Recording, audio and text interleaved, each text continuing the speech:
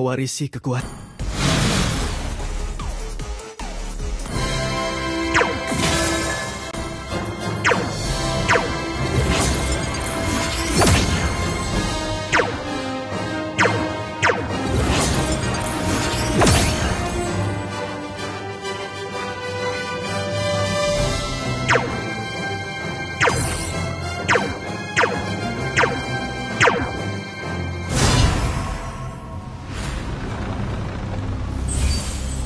Semua yang kulihat melalui teropongku adalah mangsaku.